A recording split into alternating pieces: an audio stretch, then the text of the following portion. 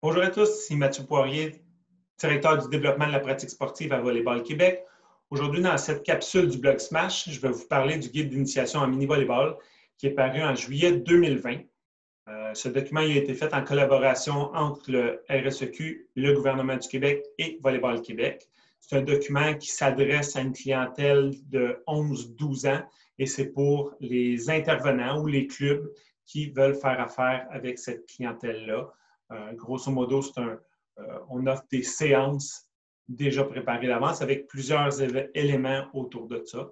Euh, je donne par exemple un club qui voudrait se lancer avec leur ville à offrir des séances à chaque samedi matin, une clientèle de 11-12 ans vient.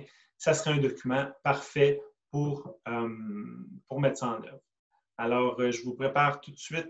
Je partage mon écran pour vous montrer le document. Alors euh, voilà, voilà le guide euh, qui se retrouve sur notre site Internet.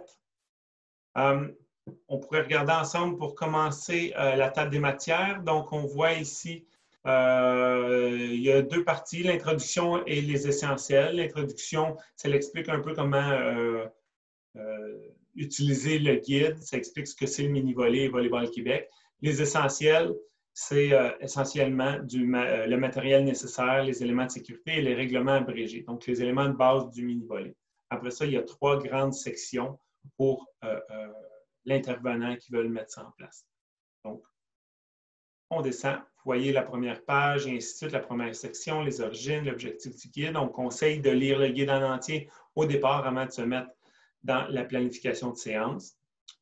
Euh, les essentiels, on parle euh, des, ballons, des terrains, comment adapter son terrain et ainsi de suite. Euh, la sécurité, les règlements abrégés, comme on a vu, des éléments essentiels là-dessus.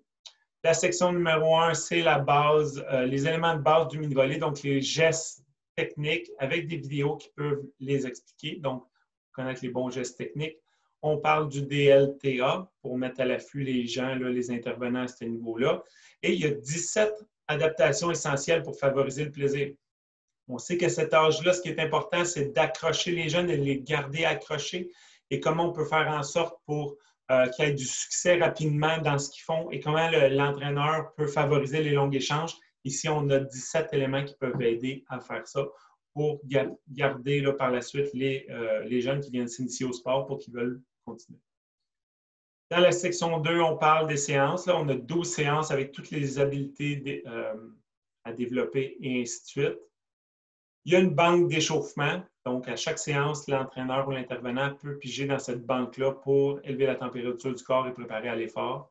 Et on a les séances 1 à 12. Les séances 1, on a toujours un petit résumé ici de ce qui se passe dans la séance qui dure entre 60 euh, et 90 minutes.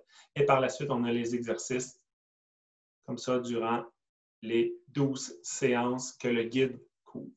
Par la suite, la dernière section, c'est de l'information supplémentaire très intéressante pour, euh, pour avoir une vision plus large de ce qui peut, ce qui peut se faire.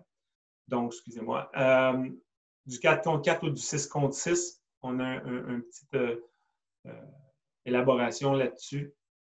la progression idéale, les formations stratégiques en défensive et en réception, donc le mode carré, le mode losange, plusieurs formules de jeu qui sont euh, disponibles et également des formules de tournoi qui sont euh, expliquées avec toujours des petites vidéos pour bien les expliquer.